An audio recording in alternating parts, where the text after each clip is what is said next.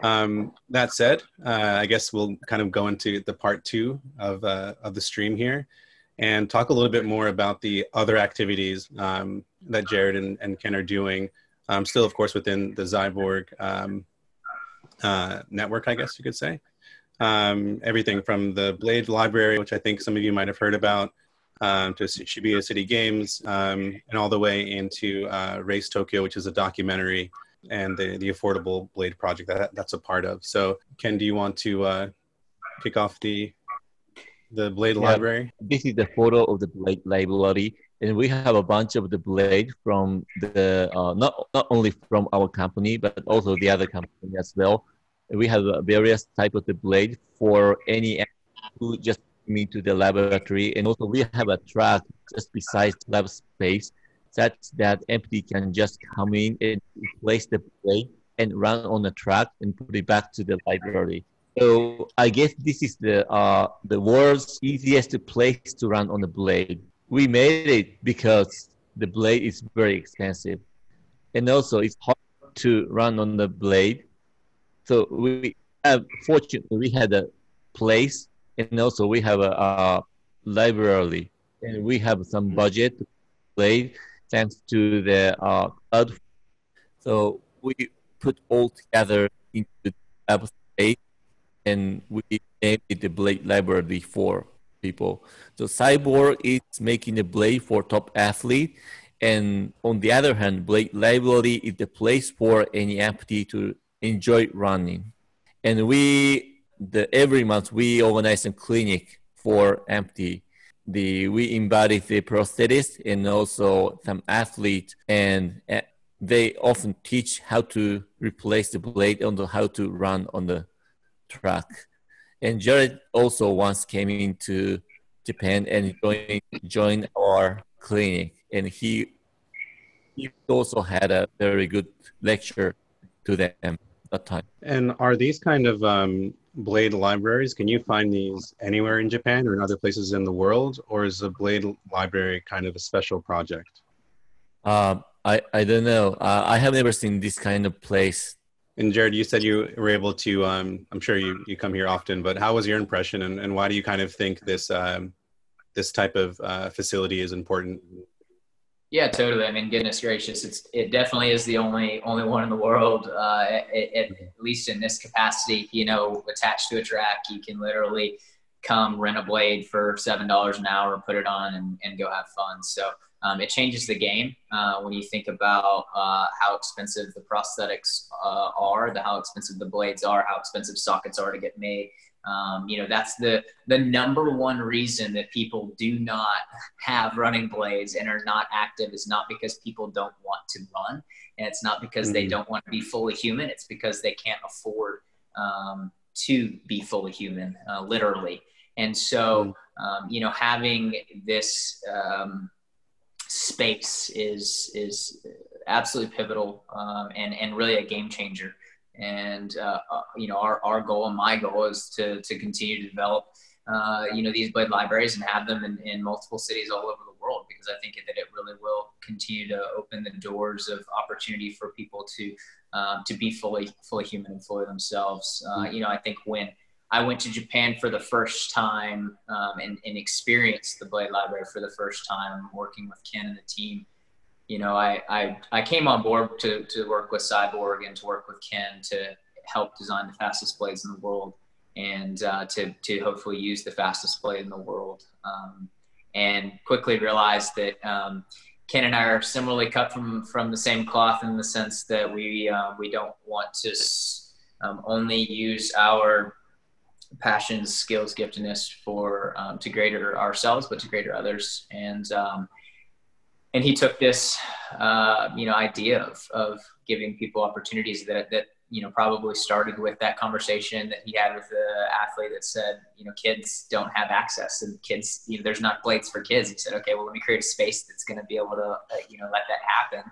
Um, you know he, he created a big big playground for people with, that, that, that can run with prosthetics. So um, you know very quickly i realized that um, yeah ken and i are going to definitely work together to make um, really great blades. But um, we're we're going to do more than that. I don't know what that that is yet, um, but this blade library is a really great foundation to um, to to work from. So yeah, it was an amazing experience for me being there for the first time and getting to literally watch someone run on a blade mm. for their very first time.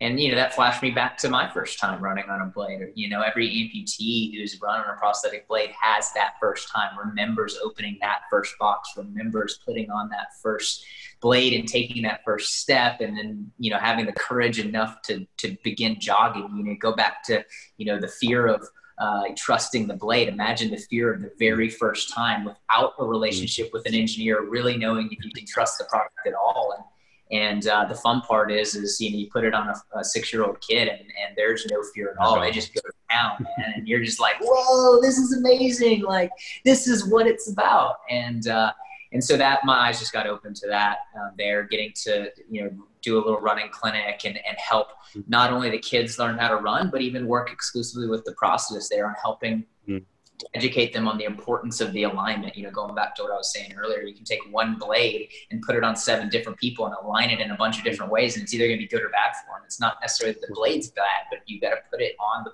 on the socket in a way that's going to allow the user to use it effectively. And so, being able to work with the process in that. Um, you know, in that environment was really helpful, um, both for the kids' success and then also for the process mm. to, to gain some education on um, the proper alignment and usage of the blade. I, I want to go uh, a little bit back into that in a second. Um, but uh, going back to Ken, uh, as an engineer, I'm sure uh, you know you, you find a problem, you design the solution, and in the sense of a uh, a blade, you can make it, and it's very tangible and easy. Easy compared to having this vision for creating a blade library, which is a giant facility, which needs teams to run it, which needs government support, uh, and also a community to support it um, how what was it like uh, creating this Blade library, and how has the community responded um, to having it um, in their city? Honestly, I'm very bad at making the community, and we don't have any support from anywhere at that time because it's very hard situation. A lot of people are, are very interested in the Olympic and Paralympic game, but we are not mm. So they are not interested in paying the money to some company which is not sponsored because they want to do something about the Olympic and Paralympic Games. Mm. So we up communicating with them and we started the crowdfunding by our own, not using the uh, some uh, story of the Olympic Paralympic game. We just want all empty to run, enjoy running on the stage. That's the story. And the but we have we raised a much money and we purchased the more than 20 blade here. And we we didn't get we couldn't get the support from the government. We couldn't get the uh, hmm. support from the uh, official olympic paralympic organization. But we have very good support from the people. And eventually we the olympic channel featured us. I like that story yeah, they, everyone always wants to be there when the bread's done, right? is um with the about I mean the going back to what uh, Jarryd was saying, and this is still a question for you, Ken. Um, and maybe this is a bit more culturally culturally specific to Japan. Uh, what is the situation like in regards to support for um, amputees or uh, children and what is kind of the cultural um, expectation for those people? Sorry, that was maybe a loaded question. Uh, so, um, in Japan, is it um, common to see uh, people using prosthetics? Is it something that um, not surprising? Uh, and when you ask, when people ask you about the Blade Library, are they surprised this thing exists? Is this the first time they've heard about it? Or are they like oh i know someone that would love to do this and they introduce you i think the blade library is very popular and famous for the people who are interested in the paralympic game mm. but I, I i don't think that almost all people don't know about it I mean, it just feels like the the tagline, you know, um, seeing a child run for the first time, that it would be, you know, everyone would be there.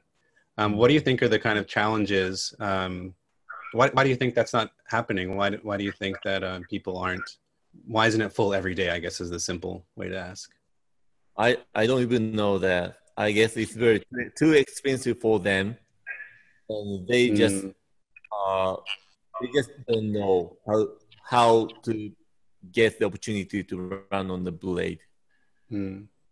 Yeah, many mm. people just give up running on the blade.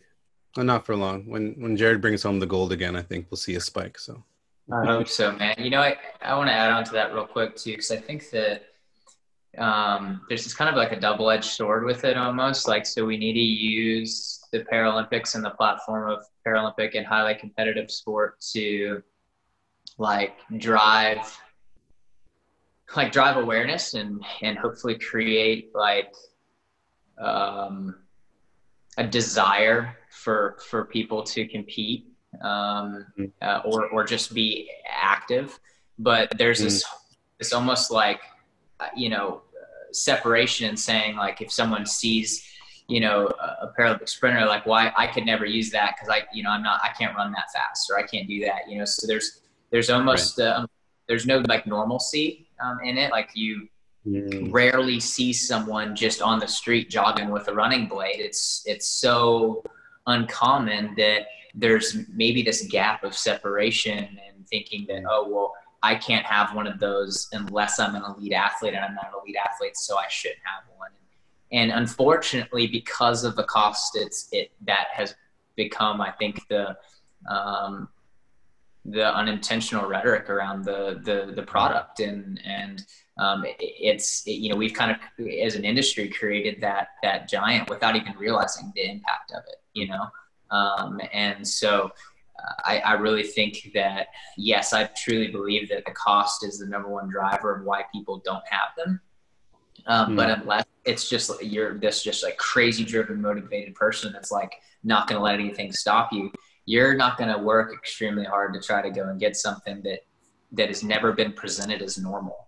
Um, mm. And and so you know, my hope, yeah, I, you know, I'm standing on on a you know on a on a platform and. Uh, you know, using trying to use sport to, to help uh, you know bring more awareness around um, you know these products and these designs. But um, you know, I'm really trying to lean in to find a way how can we how can we create normalcy in this? How can we make it become um, you know more cost effective? Yes, but but more common for people to just say, hey, well, of course I'm human. I want to be able to run. I mm-hmm. want to be able to active be active. This is this is a normal part of my life. It's not you know not everyone experiences that. But you know, if, if someone who has two legs wants to go run, they go to the store, they buy a pair of running shoes. Sometimes they go to a store that has a testing place where they can get on a treadmill and mm. test different shoes. Well, that's the vision behind the Blade Library. If you have a place in, in, in you know your area that you can go and test a product and say, okay, cool, I like this one. I would like to get this so that I can be normal too,